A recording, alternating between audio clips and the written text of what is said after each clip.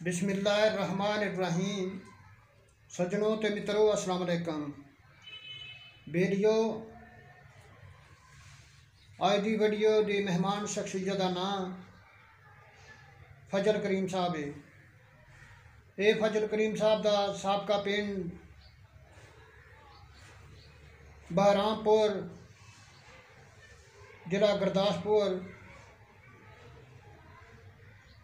ਹਿੰਦੁਸਤਾਨ ਸੀ। ਇਹ ਬਜ਼ੁਰਗਾਂ ਦਾ ਮੌਜੂਦਾ ਪਿੰਡ ਬਸਰਾ ਜਾਲਾ ਤਹਿਸੀਲ ਸਕੜਗਾੜ ਜ਼ਿਲ੍ਹਾ ਨਾਰੋਵਾਲ। ਹੈ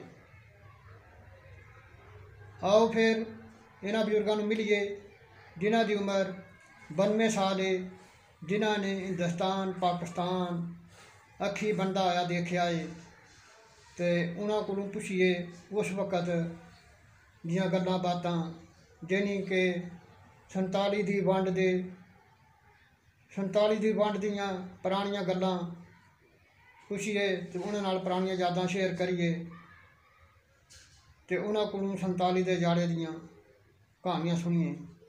ਆਓ ਫਿਰ ਮਿਲੀਏ ਫਜ਼ਲ ਕਰੀਮ ਸਾਹਿਬ ਨੂੰ, ਜਿਨ੍ਹਾਂ ਦੀ ਉਮਰ ਇਸ ਟਾਈਮ 92 ਸਾਲ ਹੈ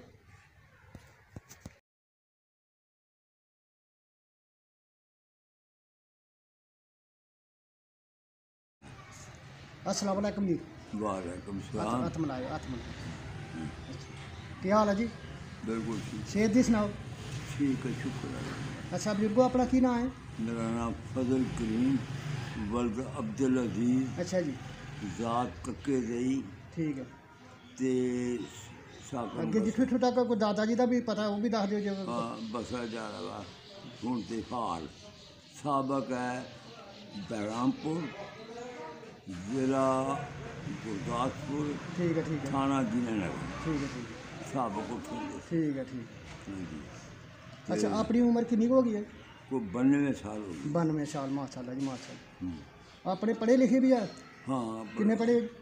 ਮੈਂ ਕੋਈ ਸੱਤ ਕੁ ਜਮਾਤਾਂ ਪੜ੍ਹਿਆ ਅੱਠ ਅੱਛਾ ਉਧਰ ਪੜ੍ਹੇ ਹੋ? ਹਾਂ ਇੰਡੀਆ। ਕਿਹੜੇ ਸ਼ਹਿਰ ਜਾਂਦੇ ਰਹੇ ਹੋ? ਉੱਥੀ ਉੱਥੀ ਸ਼ਹਿਰ ਚ ਬਹਿਰਾਮਪੁਰ ਹੀ? ਹਾਂ ਬਹਿਰਾਮਪੁਰ। ਠੀਕ ਹੈ ਠੀਕ ਹੈ। ਹਾਂਜੀ।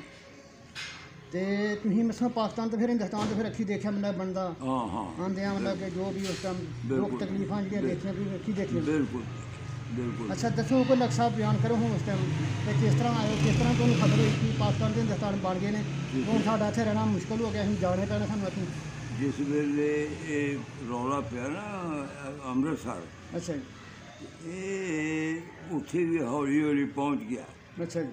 ਰੌਲਾ ਸਾਰੇ ਬੌਲੇ ਪੈ ਗਿਆ। ਠੀਕ ਹੈ ਠੀਕ। ਤੇ ਮੁਸਲਮਾਨ ਜਿਸੇ ਜ਼ਿਆਦਾ ਸੀ ਉਹ ਹਿੰਦੂਆਂ ਨੂੰ ਪੈ ਗਏ। ਠੀਕ ਹੈ ਠੀਕ। ਮਾਰਨ ਠੀਕ। ਤੇ ਬਾਅਦ ਦੇ ਵਿੱਚ ਥੋੜਾ ਜਿਹਾ ਕੋ ਵਕਫਾ ਮਿਲਿਆ ਤੇ ਹਿੰਦੂ ਨ- ਨੱਠ ਨੁੱਠ ਗਏ। ਠੀਕ। ਕੁਛ ਸਿੱਖ ਸੀ ਇੱਕ ਅਸੀਂ ਨਹੀਂ ਨੱਠੇ ਕੁਛ ਘਰ। ਠੀਕ ਹੈ ਠੀਕ। ਅਸੀਂ ਗਏ ਉੱਥੇ। ਠੀਕ। ਇੱਕ ਦੋ ਤੇ ਚਾਰ ਦਿਨ ਇੱਕ ਅਮ, ਨੱਥਾ ਸਿੰਘ ਸੀ। ਅੱਛਾ ਜੀ। ਉਹਦਾ ਪੁੱਤਰ ਸੀ ਗੁਰਦਿਆਲ ਸਿੰਘ। ਅੱਛਾ ਜੀ। ਉਹਦਾ ਅੱਗੇ ਪੁੱਤਰ ਹਰਬੰਸ ਸਿੰਘ ਸੀ। ਅੱਛਾ ਜੀ। ਹਰਬੰਸ ਸਿੰਘ ਮੇਰਾ ਜਮਾਤੀ ਸੀ। ਅੱਛਾ ਜੀ। ਤੇ ਉਹ ਉਹ- ਉਹ ਜਿਸ ਵਕਤ ਉਹ ਵਾਰੀ ਆਈ ਨਾ ਇਹਨਾਂ ਦੀ ਅਮ, ਅਮ, ਹਿੰਦੂਆਂ ਦੀ ਅੱਛਾ ਤੇ ਇਹ ਪੈ ਗਏ ਨਾ ਮੁ- ਮੁਸਲਮਾਨ ਉਹਨਾਂ ਨੂੰ। ਠੀਕ ਹੈ ਠੀਕ ਤੇ ਉਹ ਰ- ਸਾਡੇ ਘਰ ਆ ਗਏ ਬਾਹਰ ਠੀਕ ਹੈ, ਲੈ ਕੇ ਜਿਸ ਹੀ ਆ ਗਏ ਘਰ ਤੇ ਫਿਰ ਉਹ ਅਸਾਂ ਉਹਨਾਂ ਨੂੰ ਰੋਟੀ ਪਾਣੀ ਦੋ ਤਿੰਨ ਦਿਨ ਘਰ ਰੱਖਿਆ। ਉਹਨਾਂ ਦੀ ਦੇਖਭਾਲ ਕੀਤੀ ਠੀਕ ਤੇ ਉਹਨਾਂ ਨੂੰ ਬਚਾਇਆ। ਠੀਕ ਉਹ ਫਿਰ ਜਿਹੜੇ ਉਧਰੋਂ ਫਿਰ ਉਹ ਚਲੇ ਪੱਕਾ ਪਤਾ ਲੱਗ ਗਿਆ ਵੀ ਇਹ ਗੁਰਦਾਸ ਜਿਹੜਾ ਵਾ ਨਾ ਇਹ ਇਹ ਹਿੰਦ- ਇੰਡੀਆ ਚ ਆ ਗਿਆ। ਠੀਕ ਹੈ ਠੀਕ ਸਾਨੂੰ ਫਿਰ ਉਹ ਸਿੱਖ ਆਇਆ ਗੁਰਦਿਆਲ ਸਿੰਘ। ਠੀਕ ਹੈ। ਉਹਦਾ ਹਰਬੰਸ ਸਿੰਘ ਦਾ ਪਿਓ। ਠੀਕ ਹੈ ਠੀਕ ਹੈ।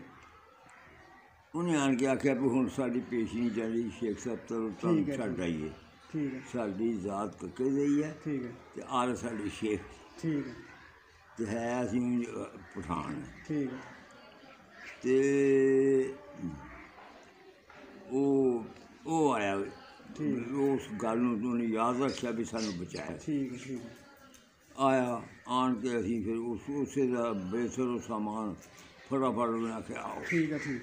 ਅਸੀਂ ਕੋਠੇ ਦੇ ਚਬਾਰੇ ਤੇ ਸੀ। ਠੀਕ। ਅਸੀਂ ਉਤਰ ਆਏ ਮਕਾਨ ਤੋਂ। ਠੀਕ। ਆਵੇਂ ਕੋਈ ਚੰਦ ਲ- ਇੱਕ ਕ- ਕਪੜਾ ਲਿਆ ਲੋਈ ਜੀ ਉਹ ਮੋਢੇ ਤੇ ਰੱਖੀ। ਠੀਕ। ਤੇ ਐਵੇਂ ਕੱਛਾ ਪਾਇਆ ਦਾ ਸੀ ਤੋਰਾ ਬਨਾਨ ਪਾਈ ਸੀ। ਪੜਦੇ ਸਨ ਨਾ? ਠੀਕ। ਤੇ ਖਾਕੀ। ਠੀਕ। ਅਹ, ਕੱਛਾ ਉਹ ਅਹ, ਨਿੱਕਰ ਪਈ। ਠੀਕ ਹੈ ਠੀਕ। ਗੋਡਿਆਂ ਤੱਕ। ਠੀਕ ਹੈ। ਉਹ ਫਿਰ ਉਹਨਾਂ ਦੇ ਨਾਲ ਤੁਰੇ। ਉਹ ਫਿਰ ਸਾਨੂੰ ਛੱਡਣ ਆਏ। ਗੱਲ ਲਈ ਇੱਕ ਪਿੰਡ ਆ ਜਿਹੜੇ ਕਿ ਦਰਿਆ ਦਾ ਲੰਘ ਉਸੇ ਗੁਰਦਾਸਪੁਰ ਸੜਕ ਆਉਂਦੀ ਹੈ ਪੱਕੀ। ਠੀਕ ਹੈ ਠੀਕ ਤਿਮੋ ਦੇ ਪਤਨ ਤੱਕ। ਠੀਕ ਹੈ, ਠੀਕ। ਉਹਨਾਂ ਨੇ ਪਤਨ ਤਿਮੋ ਦਾ। ਉੱਥੋਂ ਤੱਕ ਪੱਕੀ ਸੜਕ ਇਹ ਨਾਨੇਕੋਟ ਤੋਂ ਅੱਗੇ? ਆ ਨੈਣਕੋਟ। ਠੀਕ ਹੈ ਠੀਕ। ਉਹ ਫਿਰ ਕੀ ਕੀਤਾ ਬਈ? ਉੱਥੇ ਫਿਰ। ਉਹ ਜਿਹੜੇ ਮੋੜ ਤੇ ਆਏ ਨਾ ਅਸੀਂ ਪੱਕੀ ਚੜ੍ਹਨ ਲੱਗੇ। ਅੱਛਾ ਜੀ। ਤੇ ਬਲੋਚ ਰੈਜੀਮੈਂਟ ਆ ਗਏ ਪਿੱਛੋਂ ਗੁਰਦਾਸਪੁਰ। ਅੱਛਾ ਜੀ। ਉਹ ਲਗੇ ਉਹਨਾਂ ਸਿੱਖਾਂ ਨੂੰ ਮਾਰਨ। ਜਿਹੜੇ ਸਾਨੂੰ ਛੱਡਣ ਆਏ ਸੀ। ਅੱਛਾ ਜੀ ਅਸਾਂ ਫਿਰ ਉਹਨਾਂ ਨੂੰ ਰੋਕਿਆ। ਅੱਛਾ ਜੀ। ਤੇ ਇਹ ਤੇ ਸਾਡੇ ਰਾਖੇ। ਠੀਕ ਹੈ ਠੀਕ ਇਹਨਾਂ ਨੂੰ ਕਿਉਂ ਮਾਰਦੇ ਠੀਕ ਹੈ ਠੀਕ ਉਹਨਾਂ ਫਿਰ ਫੌਜ ਵਾਲਿਆਂ ਆਖਿਆ ਭਈ ਤੁਸੀਂ ਬਾਬਾ ਜੀ ਮਕਈ ਵਿੱਚੋਂ ਨਹੀਂ ਨਿਕਲ ਜਾਓ। ਠੀਕ ਹੈ ਠੀਕ ਉਹ ਫਿਰ ਵਾਪਸ ਆ ਗਏ। ਅਸੀਂ ਦਰਿਆ ਨੂੰ ਚਲੇ ਗਏ। ਅੱਛਾ ਜੀ। ਦਰਿਆ ਪਾਰ ਕਰਕੇ ਕੋਟਣੇ ਗਏ। ਅੱਛਾ ਜੀ। ਅਹ ਬੇੜੀ 'ਚ। ਠੀਕ ਬੇੜੀ 'ਚ ਪਾਰ ਲੰਘੇ ਠੀਕ ਤੇ ਕੋਟਣੇ ਚਲੇ ਠੀਕ ਹੈ ਰਾਤ ਕੋਟਣੇ ਠੀਕ ਗਏ ਹੈ ਪਹਿਲੇ। ਠੀਕ ਉੱਥੇ ਇੱਕ ਸਾਡੇ ਪਿੰਡ ਦੀ ਬਹਿਰਾਮਪੁਰ ਦੀ ਠੀਕ ਲੜਕੀ ਸਾਈਆਂ ਜੀ ਸੀ ਵਿਆਹੀ। ਠੀਕ ਉਹਨੂੰ ਪਤਾ ਲੱਗਾ ਤੇ ਰੋਂਦੀ ਆ ਗਈ। ਠੀਕ ਹੈ ਉਹਨੇ ਵੀ ਸਾਨੂੰ ਖੁਰਾਕ ਮੁਹੱਈਆ ਕੀਤੀ ਸੁੱਕਾ ਦਾਲ ਸਾਲ ਠੀਕ। ਲੂਣ ਵਗੈਰਾ। ਠੀਕ ਅਸੀਂ ਉੱਥੇ ਮਸ਼ੀਨ ਸੀ ਕਾਟਿਆ ਜੀ ਠੀਕ। ਉਹਦੇ ਫੱਟੇ ਦੇ ਸੁੱਤੇ। ਠੀਕ ਹੈ ਠੀਕ ਦਿਨ ਚੜਿਆ ਤੇ ਫਿਰ ਅਸੀਂ ਸ਼ਕਰਗੜ੍ਹ ਆ ਗਏ ਠੀਕ ਹੈ। ਸ਼ਹਿਰ ਇੱਥੇ ਸਾਡਾ ਚਾਚਾ ਅਹ, ਦੂਸਰੇ ਦਿਨ। ਇੱਕ ਦਿਨ ਰਹੇ ਉੱਥੇ ਰਾਤ। ਰਾਤ ਰਹੇ ਦੂਆ ਦਿਨ ਰਹੇ ਤੀਸਰੇ ਦਿਨ ਠੀਕ ਹੈ। ਗਏ ਇੱਥੇ ਆਣ ਕੇ ਇੱਕ ਕੁੱਲਾ ਸੀ ਲਿਆ ਦਾ ਚਾਚੇ ਨੇ ਮਕਾਨ ਉਹਦੇ ਵਿੱਚ ਰਹੇ। ਫਿਰ ਅਸੀਂ ਉੱਥੋਂ ਚਲੇ ਗਏ। ਇਹ ਇੱਕ ਮਹੀਨਾ ਰਹਿ ਗਏ ਨਾ ਤੇ ਅਸੀਂ ਚਲੇ ਗਏ ਸਿਆਲਕੋਟ। ਅੱਛਾ ਜੀ। ਸਿਆਲਕੋਟ ਸਾਡੇ ਫੁੱਫੀ ਦੇ ਪੁੱਤਰ ਸੀ। ਉਹ ਫਿਰ ਉੱਥੋਂ ਉਹ ਜੇ ਦੇਖਿਆ ਤੇ ਉੱਥੇ ਰੋਜ਼ਗਾਰ ਕੋਈ ਨਹੀਂ ਸੀ। ਠੀਕ। ਫਿਰ ਅਸੀਂ ਆਏ ਪਸਰੂਰ। ਠੀਕ। ਪਸਰੂਰ ਆਣ ਕੇ ਗੱਲ ਸਨ ਮੇਰੇ ਪੜ੍ਹੇ ਲਿਖੇ ਉਸ ਜ਼ਮਾਨੇ ਦੇ ਮੈਟ੍ਰਿਕ ਪਾਸ ਅੱਛਾ ਸਨ ਤੁਸੀਂ ਮਾਨੀ ਮੈਟ੍ਰਿਕ ਕੀਤਾ? ਮੈਟ੍ਰਿਕ ਪਾਸ ਅੱਛਾ ਉਹ ਕਿੱਥੇ ਪੜ੍ਹੇ ਹੁਣ ਭਲਾ? ਉਹ ਗੁਰਦਾਸਪੁਰ ਸੀ ਗੁਰਦਾਸਪੁਰ। ਅੱਛਾ ਇਹ ਕੀ ਮੁਲਾ- ਮੁਲਾਜ਼ਮ ਕੀ ਕਰਦੇ? ਕੋਈ ਮੁਲਾਜ਼ਮ ਮੁਲਾਜ਼ਮ ਕੋਈ ਨਹੀਂ ਕਰਦਾ? ਕਾਰੋਬਾਰ ਸਾਡਾ ਸੀ ਹੱਡੀ ਚਮੜੇ ਦਾ। ਠੀਕ ਹੈ ਠੀਕ।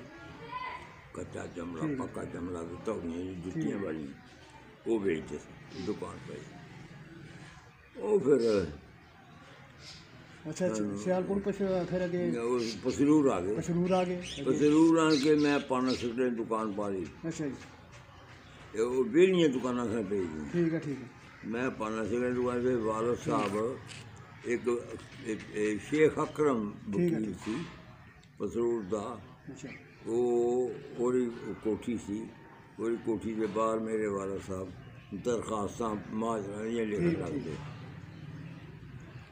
ਉੱਥੋਂ ਫਿਰ ਅਸੀਂ ਚਲੇ ਗਏ। ਪਸਰੂਰ ਤੋਂ ਪਸਰੂਰ ਵੀ ਛੱਡ ਗਏ ਅੱਛਾ। ਫਿਰ ਅਸੀਂ ਚਲੇ ਗਏ ਲਾਹੌਰ। ਅੱਛਾ ਜੀ। ਲਾਹੌਰ ਹਮਸ਼ੀਰਾ ਸੀ ਮੇਰੀ। ਅੱਛਾ ਜੀ। ਉਹਦੇ ਕੋਲ ਜਾ ਕੇ ਰਹੇ। ਉੱਥੇ ਦੁੱਧ ਦੀ ਦੁਕਾਨ ਪਈ ਦੇ ਨਾਲੇ ਉਹਨਾਂ ਲਈ ਵੀ ਚੱਕੀ ਆਟਾ ਪੀਣ ਵਾਲੀ। ਠੀਕ ਹੈ। ਉਹ ਮੈਂ ਉੱਥੇ ਕੰਮ ਕਰਦਾ ਠੀਕ ਹੈ ਠੀਕ ਹੈ। ਉਸ ਤੋਂ ਬਾਅਦ ਅਸੀਂ ਚਾਚਾ ਮੇਰਾ ਜਿਹੜਾ ਇੱਥੇ ਨੇ ਸ਼ਕਰਗੜ੍ਹ ਵਾਲਾ ਅੱਛਾ। ਉਹਨੇ ਉੱਥੇ ਚਿੱਠੀ ਲਿਖੀ। ਕਿ ਜ਼ਮੀਨਾਂ ਅਲਾਟ ਹੋ ਰਹੀਆਂ ਨੇ। ਠੀਕ। ਹੈ ਤੇ ਤੁਸੀਂ ਆਪਣਾ ਵੀ ਕਲੇਮ ਦਿਓ। ਠੀਕ। ਤੇ ਜ਼ਮੀਨ ਜਿਹੜੀ ਆ ਉਹ ਠੀਕ। ਠੀਕ ਹੈ ਠੀਕ। ਜ਼ਮੀਨ ਜਿਹੜੀ ਹੈ ਨਾ ਉਹ ਆਪਣੀ ਲੈਣੀ ਹੈ ਠੀਕ ਹੈ ਠੀਕ। ਠੀਕ ਹੈ ਜੀ ਉਹ ਵੇਲੇ ਸਾਂ ਇੱਥੇ ਆ ਗਏ। ਵਾਪਸ ਸ਼ਕਰਗੜ੍ਹ ਅੱਛਾ। ਲਾਹੌਰ ਤੋਂ ਆਣ ਕੇ ਸੀ ਜ਼ਮੀਨ ਲਈ ਅੱਛਾ ਤੇ ਇੱਥੇ ਕਿ ਕਿੰਨੀ ਦੇਰ ਬਾਅਦ ਆਏ ਫਿਰ ਇੱਥੇ ਕੋਈ- ਅਤੇ ਬਸਰੇ ਬਸਰੇ ਜਾ ਬ- ਉਹ ਕੋਈ ਰਹਿ ਰਹਿ ਨਾ ਉਸ ਕੋਈ ਮਹੀਨਾ ਸ਼ਹਿਰ ਸ਼ਕਰਗੜ੍ਹ ਤੇ ਫਿਰ ਆ ਗਏ ਬਸ ਜਿਹੜੇ ਇਹ ਅਲਾਟਮੈਂਟ ਕਰਾਇਆ ਕੱਚਾ ਮਕਾਨ ਵੀ ਅੱਛਾ ਨਹੀਂ ਜੀ। ਸੀ ਤੇ ਝਗੜੇ ਚਾਂਜੇ ਜਿਹੜੇ ਮਕਾਨ ਵੀ ਬੜੇ ਝਗੜੇ ਚਾਂਜੇ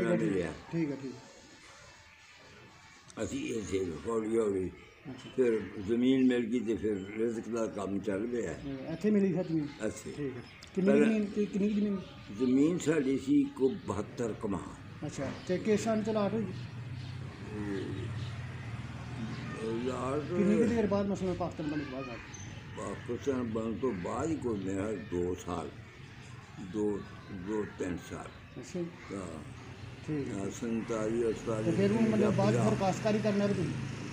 ਕਾਸ਼ਕਾਰੀ ਨਹੀਂ ਫਿਰ ਉਹ ਆਤੇ ਅਸੀਂ ਤੇ ਹੁੰਦੇ ਨਹੀਂ ਸਨ। ਠੀਕ ਉਹ ਫਿਰ ਦਿੱਤੀ ਲੋਕਾਂ ਨੂੰ ਫਿਰ ਠੀਕ। ਜ਼ਮੀਨ ਤੇ ਉਹ ਫਿਰ ਸਾਨੂੰ ਅੱਛਾ। ਫਿਰ ਸਾਜਨ ਦੇ ਦੇ ਠੀਕ ਹੈ ਤੁਹਾਡੀ ਹੁਣ ਗੱਲ ਹੁੰਦੀ ਆ ਹੂੰ। ਕਿ ਇਹ ਜਿਹੜਾ ਅਸੀਂ ਪਿੰਡ ਬੈਠੇ ਆ ਇਹਦਾ ਨਾਮ ਕੀ ਆ ਬਸਰਾ ਬਸਰਾ ਜਾਲ। ਬਸਰਾ ਜਾ ਤੇ ਇਹਦੀ ਕਿਹੜੀ ਤਹਿਸੀਲ ਆ ਭਾ ਇਹਦੀ ਤਹਿਸੀਲ ਸ਼ਕਲਗੜ੍ਹ। ਛੱਕੜਗੜ੍ਹ ਜ਼ਿਲ੍ਹਾ? ਜ਼ਿਲ੍ਹਾ ਗੁਰਦਾਸਪੁਰ। ਨਹੀਂ ਨਹੀਂ ਜ਼ਿਲ੍ਹਾ ਆਇਆ ਅੱਜ ਕੱਲ੍ਹ ਨਾਰਵਾਲ। ਅੱਜ ਅੱਜ ਕੱਲ੍ਹ ਜ਼ਿਲ੍ਹਾ ਨਾਰੋਵਾਲ ਨਾਰੋਵਾਲ। ਪਹਿਲੇ ਗੁਰਦਾਸਪੁਰ। ਤੇ ਪਹਿਲੇ ਮਸਲੇ ਜਿਨ ਕਿ ਪਹਿਲੇ ਤਹਿਸੀਲ ਸ਼ਕਰਗੜ੍ਹ ਹੁੰਦੀ ਰਹੀ ਤੇ ਜ਼ਿਲ੍ਹਾ ਗੁਰਦਾਸਪੁਰ ਹੁੰਦਾ ਰਿਹਾ ਤੇ ਫਿਰ ਪਾਕਿਸਤਾਨ ਬਣਨੇ ਤੋਂ ਬਾਅਦ ਇਹੋ ਹੀ ਬਣ ਗਿਆ ਆਪਣੇ ਤਹਿਸੀਲ ਸ਼ਕਰਗੜ੍ਹ ਤੇ ਜ਼ਿਲ੍ਹਾ ਸਿਆਲਕੋਟ। ਜ਼ਿਲ੍ਹਾ ਸਿਆਲਕੋਟ। ਹਾਂ ਤੇ ਹੁਣ ਜਿਨ ਕਿ ਇਧਰ ਆ ਉਹ- ਉਹ ਜ਼ਿਲ੍ਹਾ ਸਿਆਲਕੋਟ। ਉਸ ਤੋਂ ਬਾਅਦ ਹੁਣ ਜ਼ਿਲ੍ਹਾ ਨਾਰੋਵਾਲ ਬਣ ਗਿਆ। ਠੀਕ ਆ ਅੱਛਾ ਇਹ ਦੇ ਇਹ ਕਿਹੜਾ ਪਿੰਡ ਬਸਰੇ ਜਾਲੇ ਦੇ ਆਲੇ ਦੁਆਲੇ ਕਿਹੜੇ ਕਿਹੜੇ ਪਿੰਡ ਨੇ ਭਲਾ? ਇਹਦੇ ਦੁਆਲੇ ਮਹੱਲੇ ਦੇ ਦੱਸੋ ਜੀ। ਮਲੇਕੂ ਤੇ ਸੁਲਤਾਨਪੁਰ ਇੱਕ ਗੁਜਰਾਂ ਦਾ। ਅੱਛਾ ਜੀ। ਇੱਕ ਨਾ ਕਿ ਉਹ ਮੋਟੇ ਤੇ ਪੰਡੋਰੀ। ਇਹ ਕਿਹੜੇ ਪਾਸੇ? ਇਹ ਚੜ੍ਹਦੇ ਪਾਸੇ ਮੋਟੇ ਪੰਡੋਰੀ ਤੇ ਇਹ ਦੱਖਣ ਪਾਸੇ ਸੁਲਤਾਨਪੁਰ। ਠੀਕ ਹੈ। ਤੇ ਅੱਗੇ ਪਾ- ਪਹਾੜ ਪਾਸੇ। ਪਹਾੜ ਪਾਸੇ ਖਿੰਜੜੀਆਂ ਪਿੰਡ ਹੈ। ਅੱਛਾ ਜੀ। ਉਹ ਵੀ ਨਜ਼ਦੀਕ ਹੈ ਬਿਲਕੁਲ। ਠੀਕ ਹੈ। ਇੱਕ ਦੋ ਮਰਬੇ। ਤੇ ਪਰ ਇਹ ਰੈਬਾ ਰੈਬਾ ਜਿਹੜਾ ਵਾ ਉਹ ਉਹ ਵੀ ਉਹ ਵੀ ਨਜ਼ਦੀਕ ਹੈ ਸਾਡੇ। ਠੀਕ ਹੈ। ਬਿਲਕੁਲ ਲੱਗੇ ਹੈ ਠੀਕ ਹੈ ਠੀਕ ਹਾਂ। ਤੇ ਤੇ ਲੰਦੇ ਪਾਸੇ ਕਿਹੜਾ ਪਿੰਡ? ਲਹਿੰਦੇ ਪਾਸੇ ਬਜਾੜਾ ਨੇ। ਬਜਾਰਾ ਠੀਕ। ਬਜਾੜ ਪਿੰਡ। ਠੀਕ ਹੈ ਠੀਕ। ਹਾਂ। ਤੇ ਉੱਥੇ ਜਿਹੜਾ ਤੁਹਾਡਾ ਪਿੰਡ ਸੀ ਉਹਦੇ ਮਸਲਾ ਆਲੇ ਦੁਆਲੇ ਕਿਹੜੇ ਕਿਹੜੇ ਪਿੰਡ ਆਉਂਦੇ ਹਨ ਜੀ? ਦੱਸੋ ਉੱਥੋਂ ਦੇ ਪਿੰਡਾਂ ਕੋ ਨਾਂ ਲਾਓ ਜਿਹੜੇ ਜਿਹੜੇ ਥੋੜ੍ਹੇ ਬਹੁਤ। ਉਹ ਦੇਖੋ ਜੀ ਉੱਥੇ ਸੀ ਰਾਮਪੁਰ। ਅੱਛਾ ਜੀ। ਫਿਰ ਉਥੋਂ ਨਾ ਭੁੱਲ ਗਏ ਨੇ ਮੈਨੂੰ। ਹਾਂ। ਰਾਮਪੁਰ ਤੇ ਦੀਨਾਨਗਰ ਅੱਗੇ। ਅੱਛਾ ਜੀ। ਅੱਗੇ ਇੱਕ ਹੋਰ ਪਿੰਡ ਸੀ ਲਾਗੇ ਦੀਨਾਨਗਰ ਦੇ ਨਾਲ ਉਹਨੇ ਬਸ ਅੱਛਾ ਤੇ ਉਹਦਾ ਤੁਹਾਡੇ ਪਿੰਡ ਦਾ ਮਤਲਬ ਕਿ ਜਿਹੜੀ ਤਹਿਸੀਲ ਕਿਹੜੀ? ਉਹ ਸਾਡੀ ਤਹਿਸੀਲ ਗੁਰ- ਗੁਰਦਾਸਪੁਰ। ਉੱਥੇ ਉੱਥੇ ਤਹਿਸੀਲ? ਆ ਤੇ ਗੁਰਦਾਸਪੁਰ ਹੀ? ਜ਼ਿਲ੍ਹਾ ਵੀ ਗੁਰਦਾਸਪੁਰ। ਜ਼ਿਲ੍ਹਾ ਵੀ ਗੁਰਦਾਸਪੁਰ ਤੇ ਤਹਿਸੀਲ ਵੀ ਗੁਰਦਾਸਪੁਰ। ਤੇ ਨਜ਼ਦੀਕ ਥਾਣਾ- ਦਾ ਮਤਲਬ ਹੈ ਗੁਰਦਾਸਪੁਰ ਦੇ ਨਜ਼ਦੀਕ ਹੀ ਤੇ ਹਾਂਜੀ ਤੇ ਥਾਣਾ ਦੀਨਾਨਗਰ ਸੀ। ਥਾਣਾ ਦੀ ਨਾ ਠੀਕ ਆ ਠੀਕ। ਹਾਂ। ਤੇ ਪਠਾਨਕੋਟ ਉੱਥੇ ਰਹਿੰਦਿਆਂ ਜਦੋਂ ਤੁਸੀਂ ਪਹਿਲੇ ਵੀ ਕਿਤੇ ਆਣੇ ਜਾਣੇ ਦਾ ਇੱਧਰ ਤਫਾਕ ਹੋਇਆ ਜਦੋਂ ਉੱਧਰ ਰਹਿੰਦੇ ਰਹੇ? ਨਾ ਨਾ। ਪਹਿਲਾਂ ਨਹੀਂ ਇੱਧਰ ਵੀ ਜਾਏ ਨਾ ਅੱਛਾ ਜੀ। ਇੱਧਰ ਨਹੀਂ ਮੇਰੀ ਚਾਚੇ ਦੀ ਤੇ ਉਹਦੇ ਲੜਕੀ- ਰਿਸ਼ਤੇਦਾਰੀਆਂ ਹੈ ਨਾ ਇੱਧਰ? ਚਾਚੇ ਦੀ ਲੜਕੀ ਜਿਹੜੀ ਸੀ ਨਾ ਇੱਕ ਅੱਛਾ। ਉਹ ਹਿੰਦੁਸਤਾਨ ਪਾਕਿਸਤਾਨ ਤੋਂ ਪਹਿਲੇ ਵਿਆਹੀ ਸੀ ਸਿਆਲਕੋਟ ਠੀਕ ਹੈ ਠੀਕ। ਰੰਗਪੁਰੇ। ਠੀਕ ਹੈ ਠੀਕ। ਰੰਗਪੁਰੇ ਵਿਆਹੀ ਠੀਕ ਹੈ ਉਹ ਵੀ ਇਸੇ ਤਰ੍ਹਾਂ ਹੀ ਖੱਜਲ ਖਰਾਬ ਹੋ ਕੇ ਠੀਕ ਹੈ ਆਪਣਾ ਠੀਕ। ਸੈਟਲ ਹੋ ਗਏ। ਠੀਕ। ਹੋਰ ਆਪਣੀ ਕੋਈ ਜ਼ਿੰਦਗੀ ਦਾ ਕੋਈ ਯਾਦਗਾਰ ਕੋਈ ਵਾਕਿਆ ਦੱਸੋ ਕੋਈ ਜਿਹੜਾ ਕਿ ਮਸ਼ਹੂਰ ਹੋ ਜਾਵੇ ਮੈਨੂੰ ਕੋਈ ਯਾਦਗਾਰ ਜ਼ਿੰਦਗੀ ਦਾ ਕੋਈ ਪਤਾ ਨਹੀਂ ਤਬਾਰ ਨਹੀਂ। ਅੱਛਾ ਤੁਸੀਂ ਨਾਲ ਥੋੜਾ ਜਿਹਾ ਇਹ ਦੱਸੋ ਸਾਨੂੰ।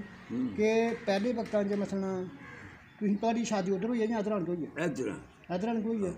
ਤੇ ਜਿਸ ਟਾਈਮ ਤੁਹਾਡੀ ਸ਼ਾਦੀ ਹੋਈ ਹੈ ਤੇ ਕਿੰਨੀ ਕੁ ਬਰਾਤ ਗਈ ਹੈ? ਕੋਈ ਕੋਈ 10 15 10 12 ਤੇ ਕਿਹੜੇ ਪਿੰਡ ਹੋਈ ਸੀ ਬਰਾਤ ਸ਼ਾਦੀ? ਇਹ ਹੋਈ ਸੀ ਨਾਰੋਵਾਲ ਦੇ ਨਜ਼ਦੀਕ ਇੱਕ ਬੁੱਢਣ ਪਿੰਡ। ਬੁੱਢਣ ਪਿੰਡ? ਬੁੱਢਣ। ਠੀਕ ਹੈ ਠੀਕ ਹੈ ਉੱਥੇ ਹੋਈ। ਅੱਛਾ ਤੇ ਕਿਸ ਤਰ੍ਹਾਂ ਮਤਲਬ ਅੱਜ ਕੱਲ ਦੇ ਲੋਕ ਕਾ- ਕਾਰਾਂ ਸਾਰਾਂ ਤੇ ਮਤਲਬ ਜਾਂਦੇ ਨੇ ਤਾਂ ਉਸ ਟਾਈਮ ਕੀ ਤਰੀਕਾ ਨਾ ਦਾ ਨਾ। ਇਸ ਤਰ੍ਹਾਂ ਗੱਡੀ ਬੈਠੇ। ਅਹ ਗੱਡੀ? ਗੱਡੀ ਰੇਲ 'ਚ। ਅਹ ਰੇਲ 'ਚ ਬੈਠਾ। ਰੇਲ 'ਚ ਬੈਠੇ ਤੇ ਚਲੇ ਗਏ ਅਹ, ਅਹ, ਕਰਤਾ- ਅਹ, ਕ- ਕਰਤਾਰਪੁਰ ਨਹੀਂ? ਅੱਛਾ ਜੀ। ਇਹ ਸਟੇਸ਼ਨ ਦਾ ਨਾਂ ਜਸੜ? ਹੈ ਦਸਰਤ ਹੋ ਗਿਆ ਅੱਛਾ ਅੱਛਾ ਹਮ, ਡੇਰਾ ਬਾਬਾ ਨਾਨਕ? ਡੇਰਾ ਬਾਬਾ ਨਾਨਕ ਦੇ ਸਾਹਮਣੇ ਹੀ ਆ। ਅੱਛਾ। ਦੂਸਰੇ ਪਾਸੇ ਸਟੇਸ਼ਨ ਹੋ ਅੱਛਾ। ਸਟੇਸ਼ਨ ਚਲੋ ਚਲੋ ਅੱਛਾ। ਉਹ ਬਸਤਾਨ ਵਗੈਰਾ ਵੀ ਨਹੀਂ? ਬਸਤਾਨ ਤੋਂ ਅੱਗੇ। ਬਸਤਾਨ ਤੇ ਤੋਂ ਉਹਦੇ ਤੋਂ ਉਹਦੇ ਚਲੋ ਚਲੋ ਅੱਛਾ ਫਿਰ ਫਿਰ ਉੱਥੇ ਉਤਰੇ। ਫਿਰ ਉੱਥੇ ਉਤਰ ਕੇ ਤੇ ਉੱਥੋਂ ਉਤਰ ਕੇ ਤੇ ਘੋੜੇ ਘੋੜੇ ਲੈ ਘੋੜੇ। ਕਿਰਾਇਆ ਸ਼ਰਾਇਆ ਤੇ ਜਾਂਦੀ? ਆ ਕਿਰਾਏ ਦਾ। ਅੱਛਾ ਔਰ ਤੇ ਬੈਗ ਦੇ ਫਿਰ ਚਲੇ ਗਏ ਅੱਛਾ। ਲਾਗੇ ਪਿੰਡ ਸੀ। ਤੇ ਫਿਰ ਉਸ ਵੇਲੇ ਕੀ ਕੀ ਤੁਹਾਨੂੰ ਖਵਾਇਆ ਪਿਆ? ਅੱਜ ਕੱਲ੍ਹ ਤਾਂ ਮਸਲਨ ਮੁxtਲਫ ਡਿਸ਼ਾਂ ਖਲਾਈਆਂ ਉਸ ਵੇਲੇ ਕੀ ਖਾਣਾ ਪਿਆ? ਉਹਦੇ ਬਸ ਕੀ ਇਹ ਖਾਣਾ? ਰਿਸਮਰਬਾਜ ਦੱਸੋ। ਮਿੱਠੇ ਚੌਲ ਲੂਣੇ ਚੌਲ ਬਸ ਅੱਛਾ। ਇਹੀ। ਉਸ ਵੇਲੇ ਮਿੱਠੇ ਲੂਣੇ ਚੌਲ ਚੱਲਦੇ ਹਨ। ਹਮ। ਬਾਅਦ ਬਜ਼ੁਰਗ ਕੀ ਦੱਸਦੇ ਨੇ ਕਿ ਪਹਿਲੇ ਕੋਈ ਆ ਪਰੀਆ ਸੀਜਾ ਕੋਈ ਖਿਲਾਉਂਦੇ ਰਹੇ ਹਨ? ਨਹੀਂ। ਪ੍ਰਿਆ ਸ਼ਰੀਆ ਜਿਹੜਾ ਨਾ ਉਹ ਨਹੀਂ। ਪਕਾ ਕੇ ਉਹਨਾਂ ਖਾਇਆ ਸਨ ਅੱਛਾ। ਹਾਂ। ਠੀਕ। ਹੈ। ਤੇ ਅੱਜ ਕੱਲ੍ਹ ਤਾਂ ਮਸਲਨਾ ਕਾਰਾਂ ਸ਼ਾਰਾਂ ਤੇ ਆਉਂਦੀਆਂ ਲੜਕੀਆਂ ਵਿਆਹ ਕੇ ਤੂੰ ਉਸ ਟਾਈਮ ਕਾਹਦੇ ਤੇ ਫਿਰ ਆਏ ਮੁੰਡਾ ਕੇ ਵਿਆਹ ਤੇ ਲਿਆਂਦਾ ਵਿਆਹ ਕੇ ਜਾਂਦਾ ਤੇ ਇਸੇ ਤਰ੍ਹਾਂ ਹੀ ਵਿੱਚ ਗੱਡੀ। ਡੋਲੀ ਛੋਲੀ ਤੇ? ਨਾ ਹਾਂ? ਗੱਡੀ। ਗੱਡੀ ਤੇ? ਗੱਡੀ ਦੇ ਅੱਛਾ ਜੀ। ਹਾਂ।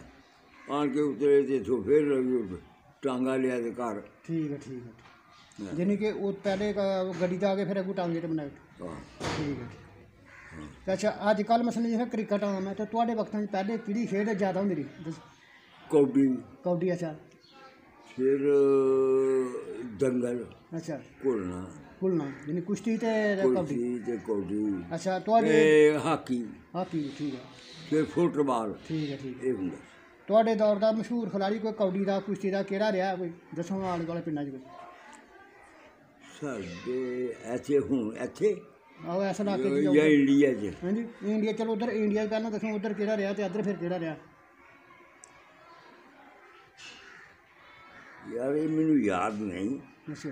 ਇਹ ਖਿਲਾੜੀ ਬਥੇਰੇ ਲੜਕੇ ਨਹੀਂ ਸਨ। ਜਿਹੜਾ ਮਸ਼ਹੂਰ ਮੁੰਡਾ ਕਿ ਨਾਮ ਨਹੀਂ ਕਰਾਂ ਮੇਰੇ ਕੋਲ ਪਿੰਡਾਂ ਦਾ ਲਾਗੇ ਲਾਗੇ। ਮੇਰੇ ਇਲਮ 'ਚ ਕੋਈ ਇਲਮ ਨਹੀਂ। ਸਾਡੇ ਪਿੰਡਾਂ ਦਾ ਕੋਈ ਖਿਡਾਰੀ ਨਹੀਂ ਉਸ ਵੇਲੇ ਮਸ਼ਹੂਰ। ਨਹੀਂ ਇੱਧਰ ਹੀ ਮਸਲਾ ਇਲਾਕੇ ਸਾਡੇ 'ਚ ਹੈ ਸਨ। ਕਿਹੜੇ ਕਿਹੜਾ ਖਿਡਾਰੀ ਮਸ਼ਹੂਰ ਰਿਹਾ ਤੇ ਕਿਹੜੀ ਗੇਮ 'ਚ ਮਸ਼ਹੂਰ ਰਿਹਾ? ਬਸ ਇਹ ਕਬੱਡੀ ਦਾ ਸਨ ਕਬੱਡੀ ਦਾ ਖਿਡਾਰੀ ਕਿਹੜਾ ਸੀ ਤੇ ਦਾ ਖਿਡਾਰੀ? ਸਾਡੇ ਉੱਥੇ ਸੈਯਦ ਸੀ ਇੱਕ। ਅੱਛਾ। ਸ਼ਾਹ ਹਨੀਫ ਸ਼ਾਹ ਦਾ ਠੀਕ ਹੈ ਠੀਕ। ਉਹ ਪਹਿਲਵਾਨ ਸੀ। ਠੀਕ ਹੈ ਠੀਕ ਅਸੀਂ ਉਹਦੇ ਖਾੜੇ ਵਿੱਚ ਜ਼ੋਰ ਕਰਦੇ ਅੱਛਾ ਰਹੇ ਜੀ। ਬਹਿਰਾਮਪੁਰ। ਅੱਛਾ ਜੀ। ਹਾਂਜੀ ਹੈ ਤੁਸੀਂ ਵੀ ਕੋਈ ਕਰਦੇ ਰਹੇ ਕੁਸ਼ਤੀ ਵਗੈਰਾ ਆ- ਅਸੀਂ ਵੀ ਉਹ- ਅੱਛਾ ਜੀ, ਆ, ਮਾਸ਼ਾਅੱਲਾ, ਮਾਸ਼ਾਅੱਲਾ। ਇੱਕ ਉਹ ਅੱਛਾ ਜੀ। ਮੁੰਡਾ ਪਠਾਨ ਸੀ ਠੀਕ ਹੈ, ਠੀਕ। ਬਿੱਲਾ ਬਿੱਲਾ। ਅੱਛਾ। ਉਹ ਬਾਹਰੇ ਮੰਗਈ ਅੱਛਾ ਜੀ। ਉਹ ਹੈ ਹਜੇ। ਉਹ ਗੁਲਾਮ ਨਬੀ ਦਾ ਪੁੱਤਰ ਆ ਪਠਾਨ ਇਹਦਾ ਮਤਲਬ ਹੈ ਤੁਸੀਂ ਕੁਸ਼ਤੀਆਂ ਕਰਦੇ ਰਹੇ ਉਧਰ ਫਿਰ? ਅਕਮਲ ਉਹਦਾ ਪੁੱਤਰ ਆ ਮਸ਼ਹੂਰ ਹੈ। ਮਸ਼ਹੂਰ। ਅੱਛਾ ਜੀ ਠੀਕ ਹੈ। ਇਹ ਦਾ ਠੀਕ ਹੈ ਠੀਕ ਤੇ ਉਹ ਉਹ ਜਿਹੜਾ ਬਿੱਲਾ ਸੀ ਉਹ ਮੇਰਾ ਜਮਾਤੀ ਸੀ ਦੋਏ ਜ਼ੋਰ ਕਰਦੇ ਰਹੇ ਠੀਕ ਹੈ ਖਾੜੇ ਚ ਉਹਦੇ ਚ ਉਹਨੇ ਵਿਚਾਰੇ ਠੀਕ ਹੈ ਠੀਕ ਹੈ। ਚਲੋ ਜੀ ਅੱਜ ਕੱਲ ਮਸਲਾ ਹੈ ਸਿੱਕਾ ਮਸਲਾ ਜਿਹੜਾ ਹੁਣ ਰੁਪਿਆ ਪੈਸਾ ਚੱਲਦਾ ਤੇ ਪਹਿਲੇ ਦੌਰ ਤੁਹਾਡੇ ਦੌਰ 'ਚ ਪਹਿਲੇ ਵਕਤਾਂ 'ਚ ਉਹ ਕਿਹੋ ਜਿਹਾ ਸਿੱਕਾ ਉਹ ਹੁੰਦਾ ਜੋ ਕਿਸ ਪੈਸਾ ਹੁੰਦਾ ਸੀ ਪੈਸਾ। ਅੱਛਾ ਉਹ ਕਿਸ ਕਿਸ ਤਰ੍ਹਾਂ ਦਾ ਨਾਮ ਹੈ ਉਹ ਕਿਹਦੇ ਪੈਸੇ ਵੱਡਾ ਸੀ। ਅੱਛਾ। ਤੇ ਉਹਨੂੰ ਕੀ ਕਹਿੰਦੇ ਤੇ? ਤੇਲਾ ਇੱਕ ਤੇਲਾ ਤੇਲਾ ਆਖਦੇ ਰਹੇ ਹੋ? ਅਤੇ ਨਹੀਂ ਉਹ ਪੈਸਾ ਅੱਛਾ। ਉਹ ਉਹਦੇ ਤੋਂ ਅੱਧਾ ਦੇ ਤੇਲਾ ਅੱਛਾ ਜੀ। ਉਹ ਤੋਂ ਅੱਧੀ ਦਮਲੀ ਦਮੜੀ ਯਾਨੀ ਕਿ ਦਮੜੀ ਸਭ ਤੋਂ ਛੋਟਾ ਸਿੱਕਾ ਸੀ। ਦਮਲੀ ਸਭ ਤੋਂ ਛੋਟਾ ਸਿੱਕਾ ਦਮੜੀ ਹੁੰਦਾ ਰਿਹਾ ਠੀਕ ਹੈ ਠੀਕ ਹੈ। ਤੇ ਜਿਸ ਅਸੀਂ ਤਰ੍ਹਾਂ ਸਾਨੂੰ- ਰੁਪਈਆ ਕਿੰਨੇ ਦਾ ਬੰਦਾ ਰਹੇ? 16 ਆਨੇ ਦਾ 16 ਦਮੜੀਆਂ ਦਾ? ਨਾ, 16 ਆਨੇ। ਅੱਛਾ ਆਨੇ ਆਨ ਆਨੇ ਦਵਾਨੀਆਂ ਹੁੰਦੀਆਂ ਹਨ। ਅੱਛਾ ਅੱਛਾ ਠੀਕ ਹੈ ਠੀਕ ਜਵਾਨੀਆਂ ਢੇਡੀਆਂ। ਅੱਛਾ। ਰੁਪਈਆ ਠੀਕ ਹੈ ਠੀਕ ਇਹ ਇਹ ਸਿੱਕਾ ਠੀਕ ਹੈ। ਤੇ ਉਸ ਵਕਤ ਮਤਲਬ ਤੁਹਾਡੇ ਵਕਤਾਂ 'ਚ ਪਹਿਲੇ ਉਧਰ ਜਦੋਂ ਰਹਿੰਦੇ ਹੋ ਚੰਗੀ ਗਾਈ ਮੱਝ ਮਸਲ ਕਿੰਨੇ ਦੀ ਕੋਈ? ਅਸਾਂ 57 ਰੁਪਏ ਦੀ ਇੱਕ ਗਾਂ ਲਈ ਸੀ। ਅੱਛਾ 50 ਰੁਪਈਆਂ ਦੀ। 57 ਜਿਹੜੀਆਂ 10 ਗੜੀਆਂ ਦੁੱਧ 12 ਵਾਹ ਦਿੰਦੀ ਸੀ ਵਾਹ ਵਾਹ ਕੀ ਬਾਤ ਹੈ ਜੀ। 57 ਰੁਪਏ ਦੀ 50 ਰੁਪਈਆਂ ਦੀ ਰਾਮਪੁਰੋਂ। ਠੀਕ। ਹਾਂ। ਉਧਰ ਰਾਮਪੁਰ ਦੇ ਰਸਤੇ ਲੰਘ ਕੇ ਤੇ ਚਾਹੀਦਾ ਸੀ ਉੱਥੇ। ਉਧਰ ਆਪਣੀ ਜ਼ਮੀਨ ਹੈ ਸੀ ਹਾਂ ਜ਼ਮੀਨ ਹੈ। ਅੱਛਾ ਉਧਰ ਫਿਰ ਜ਼ਿੰਦਾਰ ਕਰਦੇ ਰਹੇ ਤੁਸੀਂ? ਉਹ ਨਹੀਂ ਉਹ ਵੀ ਠੇ ਉੱਥੇ ਆਦਤ ਤੇ ਬੰਦੇ ਰਹੇ ਅੱਛਾ ਠੇਕੇ ਆਦੀ ਤੇ ਤੇ ਠੇਕੇ ਮਸਲ ਕਿ ਕਿਹੀ ਜ਼ਮੀਨ ਸੀ ਤੁਹਾਡੀ ਉਧਰ? ਬੜੀ ਅੱਛੀ ਬੜੀ ਅੱਛੀ ਜ਼ਮੀਨ ਸੀ। ਕਿਹੜੀ ਕਿਹੜੀ ਫਸਲ ਜ਼ਿਆਦਾ ਹੁੰਦੀ ਰਹੀ? ਉੱਥੇ ਕਣਕ ਕਮਾਦ ਫਿਰ ਮੂੰਜੀ ਵਗੈਰਾ ਤਾਂ ਨਹੀਂ ਹੁੰਦੀ? ਮੁੰਜੀ ਵੀ ਹੁੰਦੀ ਮੁੰਜੀ ਵੀ ਹੁੰਦੀ ਅੱਛਾ ਜੀ। ਤੇ ਪਾਣੀ ਦਾ ਕੀ ਜਰੀਆ ਸੀ ਉੱਥੇ ਬਾਹਰ ਜਾਣ ਪਾਣੀ ਦਾ? ਉੱਥੇ ਨੋਮਣੀ ਸੀ ਪਾਣੀ? ਉਹ ਜੋ ਵਗਦੀ ਸੀ ਉਹਦੇ ਉਹਦਾ ਪਾਣੀ ਲੱਗਦਾ। ਅੱਛਾ ਅੱਛਾ। ਤੇ ਖੂਹ ਖੂਹ ਤਾਂ ਨਹੀਂ ਹੁਣ? ਆ ਖੂਹ ਵੀ ਐਸਾ ਖੂਹ ਵੀ ਹੈ ਸਾਡੀ ਜ਼ਮੀਨ 'ਚ ਜਿਹੜਾ ਸ਼ਹਿਰ ਦੇ ਨਾਲ ਸੀ ਸਾਡੀ ਜ਼ਮੀਨ ਠੀਕ ਹੈ ਠੀਕ ਉਹਦੇ 'ਚ ਖੂਹ ਸੀ। ਤੇ ਉੱਥੇ ਮੰਨ ਕਿ ਜਿੱਥੇ ਰਹਿੰਦੇ ਰਹੋ ਉੱਥੇ ਕਿੰਨੇ ਕੁ ਖੂਹ ਹਨ ਆਪਣੇ ਪਾਣੀ ਪੀਣ ਵਾਲੇ ਬੰਦਿਆਂ ਦੇ ਪਾਣੀ ਪੀਣ ਵਾਲੇ? ਕਿੱਥੇ? ਉਹ ਉਹ ਸ਼ਹਿਰ? ਉਸ ਸ਼ਹਿਰ ਸਾਡੇ ਬਹਿਰਾਮਪੁਰ ਦੇ ਦੁਆਰੇ ਇੱਕ ਫਸੀਲ ਸੀ ਮਤਲਬ ਚ ਅੱਛਾ ਜੀ ਕੋਈ ਪੰਜ ਫਸੇਲ ਫੁੱਟ ਫਸੇਲ ਤੋਂ। ਹੀ ਲੱਗੀ ਉਹ ਨਾ ਦੀਵਾਰ ਸੀ। ਹਾਂ ਜਿਹਨੂੰ ਚਾਰ ਦੀਵਾਰੀ ਸੀ? ਚਾਰ ਹਾਂ, ਦੀਵਾਰੀ ਫਸੇਲ ਸੀ। ਔਰ ਉਹਦੇ ਸੱਤ ਗੇਟ ਸਨ। ਅੱਛਾ ਜੀ ਸੱਤ ਗੇਟ? ਸੱਤ ਗੇਟ ਅੱਛਾ ਜੀ ਬਹਿਰਾਪੁਰ ਦੇ। ਹਾਂ। ਠੀਕ ਹੈ ਜੀ ਇਹ ਉੱਥੋਂ ਦਾ ਨਕਸ਼ਾ ਹੈ। ਤੇ ਉਹਦੇ ਮੰਨ ਕੇ ਅੰਦਰ ਕਿੰਨੇ ਕੁ ਖੂਹ ਹਨ ਕੋਈ ਤਕਰੀਬਨ? ਦੱਸ ਦੇਣ ਉਹਦੇ ਅੰਦਰ ਮੇਰਾ ਖਿਆਲ ਹੈ ਕੋਈ ਹੋਣਗੇ 10 15 20 ਅੱਛਾ ਜੀ ਠੀਕ ਹੈ। ਤੇ ਕੋਈ ਤਲਾਸ਼ ਸਲਾਹ ਵੀ ਹੋਣਾ? ਹੱਥ ਲਾ ਕੇ ਤਲਾਬ ਵੀ ਆਹੀ? ਆ ਤਾਂ ਸ਼ਰਤ ਤੋਂ ਜਿੱਥੇ ਡੰਗਰਾਂ ਨੂੰ ਪਾਣੀ ਛਾਣੀ ਮੰਦਾ ਚਾਹੀਦਾ ਇਹ ਡੰਗਰਾਂ ਨੂੰ ਪਾਣੀ ਛਾਣੀ ਦਾਲਿਆ ਜਾਂ? ਲਾਉਂਦੇ ਸਨ ਸਿਰੋਂ ਕੀ। ਹੂੰ। ਦਸਹਿਰਾ ਲੱਗਦਾ ਸੀ ਉੱਥੇ ਲਾਗੇ ਹਾਈ ਸਕੂਲ ਸੀ। ਅੱਛਾ ਜਿਸ ਤਰ੍ਹਾਂ ਮਸਲਾ ਆਲੂ ਹੁੰਦੀ ਹੈ ਕਿ ਫਲਾਣੇ ਦਾ ਖੂਹ ਫਲਾਣੇ ਦਾ ਖੂਹ? ਹਾਂ। ਤੇ ਉੱਥੇ ਕਿਹੜੀ ਕਿਹੜੀ ਕੋਈ ਦੱਸੋ ਕੋਈ ਨਾਂ ਦਾ ਹੁੰਦੇ ਫਲਾਣੇ ਫਲਾਣੇ ਦਾ ਖੂਹ ਕੋਈ ਯਾਦ ਹੈ ਵੀ ਫਲਾਣੇ ਫਲਾਣੇ ਦਾ ਖੂਹ? ਇਹ ਹੈ ਯਾਦ ਦੇ ਨੇ ਨਹੀਂ ਯਾਦ? ਨਾ ਇਹ ਨਹੀਂ ਯਾਦ। ਕੋਈ ਜ਼ਿੰਦਗੀ ਦੇ ਪੁਰਾਣੇ ਵਰਕੇ ਕੋਈ ਯਾਦ ਤਾਜ਼ਾ ਕਰੋਗੇ ਪੁਰਾਣੇ ਨਾ ਖੋਲੋਗੇ? ਨਹੀਂ ਅੱਛਾ ਇਹ ਯਾਦ ਨਹੀਂ। ਚਲੋ। ਅੱਛਾ ਜਦੋਂ ਫਿਰ ਇੱਥੇ ਆਇਓ ਇੱਥੇ ਕਿੰਨੇ ਕੁ ਖੂਹ ਹਨ? ਇੱਥੇ? ਹਾਂਜੀ। ਇੱਥੇ ਇਹ ਖੂਹ ਸੀ ਇੱਕ ਅੱਛਾ। ਇੱਕ ਇਹ ਖੂਹ ਸੀ। ਅੱਛਾ ਜੀ। ਤੇ ਇੱਕ ਖੂਹ ਉਸ ਮਾਲੇ ਸੀ। ਅੱਛਾ। ਇਹ ਕੁੱਤੇ ਨੇ ਚਾਰ ਸੀ। ਠੀਕ ਹੈ ਠੀਕ। ਤੇ ਕੋ ਤਲਾਸਲਾ ਵੀ ਆਏ ਇੱਥੇ? ਹਾਂ ਨਹੀਂ ਉਹ ਇਹ ਕੱਚਾ ਕੱਚੇ ਤਲਾ ਅੱਛਾ ਜੀ। ਹਾਂ ਜਿਹੜੇ ਉਹ ਪੂਰੇ ਗਏ ਠੀਕ ਹੈ, ਠੀਕ ਤੇ ਜਿੱਥੇ ਉੱਥੇ ਮੰਦਾ ਕਿ ਚੰਗਾ ਬਾਜ਼ਾਰ ਵੀ ਹੋਣਾ ਇੱਥੇ ਮਸਲ ਬਾਰਾਂਪੁਰ ਉਸ ਜ਼ਮਾਨੇ ਸ਼ਹਿਰ ਹੀ ਇੱਕ ਕਿਸਮ ਸ਼ਹਿਰ ਸੀ ਸ਼ਹਿਰ ਸੀ, ਠੀਕ ਹੈ, ਠੀਕ 300 ਦੁਕਾਨ ਸੀ। ਠੀਕ ਹੈ ਠੀਕ ਹੈ। 300 ਦੁਕਾਨ ਹੋਣੀ ਕੱਪੜੇ। ਠੀਕ। ਉੱਥੋਂ ਜੋ ਬਾਹਰ ਦੇ ਪਿੰਡਾਂ ਦੇ ਲੋਕ ਸ- ਸੌਦਾ ਲੈਣ ਠੀਕ ਹੈ, ਉਹਦੇ ਠੀਕ ਹੈ। ਦੁਕਾਨਦਾਰ। ਠੀਕ ਹੈ ਠੀਕ ਨਹੀਂ ਉਹ ਸ਼ਹਿਰ ਫਿਰ ਹੋ ਗਿਆ ਨਾ ਸ਼ਹਿਰ ਹੀ। ਆ ਸ਼ਹਿਰ ਤੇ ਤੁਹਾਡਾ ਉੱਥੇ ਮਸਲ ਸ਼ਹਿਰ ਦੇ ਵਿੱਚ ਕਿੱਥੇ ਜੀ ਕਰਕੇ ਘਰ ਜਾਂ ਦ- ਦਰਮਿਆਨ ਚ ਹੀ ਕਿਤੇ ਸ਼ਹਿਰ ਤੇ? ਨਹੀਂ ਇਹ ਜਿਹੜਾ ਗਾਲੜੀ ਦਰਵਾਜ਼ਾ ਨਾ ਅੱਛਾ। ਉਹ ਸਾਡੀ ਉਹਦੇ ਬੈਠਕ ਦੀ ਬੈਠਕ ਦਾ ਕੋਲੇ ਦਰਵਾਜ਼ੇ ਗੇਟ ਸਾਡੀ ਨਾਲ ਲੱਗਦਾ ਜੈਸੇ ਇਹ ਬੈਠੀ ਜਗ੍ਹਾ ਇੱਥੇ ਗੇਟ ਠੀਕ ਹੈ ਠੀਕ ਹੈ, ਉਹ ਬਾਹਰ ਨੂੰ ਜਾਂਦੇ ਠੀਕ ਹੈ ਫਿਰ ਠੀਕ। ਤੇ ਉਹ ਜਿਹੜੇ ਤੁਸੀਂ ਦਰਵਾਜ਼ੇ ਦੱਸੇ ਨੇ ਹੁੰਦਾ ਕਈਆਂ ਦਰਵਾਜ਼ਿਆਂ ਦੇ ਵੀ ਨਾਂ ਹੁੰਦੇ ਨੇ। ਇਹ ਜਿਸ ਤਰ੍ਹਾਂ ਲਾਹੌਰ ਮੰਦਾ ਦਰਵਾਜ਼ੇ ਨੇ ਕੋਈ ਦਿੱਲੀ ਗੇਟ ਹੈ ਕੋਈ ਮੰਦਾ ਭਾਟੀ ਗੇਟ ਹੈ ਆਹੋ। ਉਹਦੇ ਕੋਲ ਉਹਦਾ ਨਾਂ ਨਾਂ ਹੈ? ਇੱਕ ਇੱਕ ਤੇ ਸੀ ਜੀਨਗਰ ਦਰਵਾਜ਼ਾ। ਅੱਛਾ। ਇੱਕ ਗੁਰਦਾਸਪੁਰ ਦਰਵਾਜ਼ਾ। ਠੀਕ ਹੈ ਠੀਕ ਹੈ। ਇੱਕ ਸੀ ਇਹ ਇਹ, ਅਮ, ਉਹਦਾ ਨਾਮ ਕੀ ਸੀ? ਗੈਲਰੀ ਗੈਲਰੀ ਦਰਵਾਜ਼ਾ ਅੱਛਾ। ਗੈਲਰੀ ਤੇ ਦਰਵਾਜ਼ਾ ਉੱਥੋਂ ਗੁਰਦਾਸਪੁਰ ਤੁਹਾਡੇ ਕੋਲ ਕਿੰਨਾ ਕੀ? ਗੁਰਦਾਸਪੁਰ ਸੱਤ ਵੀ ਤੇ ਗੁਰਦਾਸਪੁਰ ਆਉਣਾ ਜਾਣਾ ਹੈ ਕਿਤੇ? ਹਾਂ। ਦੇਖਿਆ ਤਾਂ ਕੈਸਾ ਸ਼ਹਿਰ ਹੀ ਗੁਰਦਾਸਪੁਰ? ਬੜਾ ਅੱਛਾ ਜੀ। ਸਹੀ ਖੂਬਸੂਰਤ ਸ਼ਹਿਰ ਬਹੁਤ। ਅੱਛਾ ਜੀ। ਕਿੰਨਾ ਕੁ ਵੱਡਾ ਬਹੁਤ ਵੱਡਾ ਸ਼ਹਿਰ? ਵਾਹ ਵਾਹ ਵਾਹ ਹਾਂ ਜ਼ਿਲ੍ਹਾ ਹੀ ਮਸਲਾ ਹੈ ਜ਼ਿਆਦਾ ਜ਼ਿਲ੍ਹਾ ਹੈ। ਤੇ ਜਿਹੜਾ ਦੀਨਾ ਨਗਰ ਉਹ ਵੀ ਕਦੇ ਦੇਖਿਆ? ਉਹ ਹਾਂ। ਦੇਖਿਆ ਨਾ ਹਾਂ, ਉਹ ਕਿਹਦਾ ਸ਼ਹਿਰ ਸੀ? ਸਾਡੀ ਉੱਥੇ ਫੁੱਫੀ ਰਹਿੰਦੀ ਸੀ। ਤੇ ਉਹ ਉਹ ਵੀ ਸ਼ਹਿਰ ਚੰਗਾ ਸੀ। ਤੇ ਬਟਾਲਾ ਵਗੈਰਾ ਵੀ? ਹਾਂ ਬਟਾਲਾ ਵੀ ਦੇਖਿਆ। ਬਟਾਲਾ ਵੀ ਦੇਖਿਆ ਅੱਛਾ ਜੀ। ਨਾਨਕੇ ਮੇਰੇ ਸਨ ਸਤਕੂਆ ਇੱਕ ਪਿੰਡ ਅੱਛਾ ਹੈ ਜੀ। ਸਤਕੂਆ ਸਾਡਾ ਬਰਾਦਰੀ ਸਕੂਲ ਬੜਾ ਹੈ 12 ਪਿੰਡ ਬਰਾਦਰੀ ਦੇ ਸਾਡੇ ਉੱਥੇ। ਠੀਕ ਹੈ ਠੀਕ ਹੈ। ਜ- ਅਹ ਗੁਰ- ਇਹਦੇ ਲਾਗੇ ਬਟਾਲੇ ਲਾਗੇ। ਠੀਕ ਹੈ। ਔਰ ਜੀ ਇੱਕ ਸਤਕੂਆ ਪਿੰਡ ਸੀ 2200 ਕਮਾਂਗਾ ਮਾਰਾ ਠੀਕ ਹੈ ਠੀਕ ਹੈ, ਉਹਦੇ ਵਿੱਚ ਸਾਡੀ ਨਾਨੀ ਸੀ ਉਹਦੇ 140 ਕਿੱਲੇ ਸਨ। ਠੀਕ ਹੈ ਠੀਕ ਹੈ, ਉਹ ਸਾਨੂੰ ਜ਼ਮੀਨ ਮਿਲੀ ਜੀ। ਠੀਕ ਹੈ।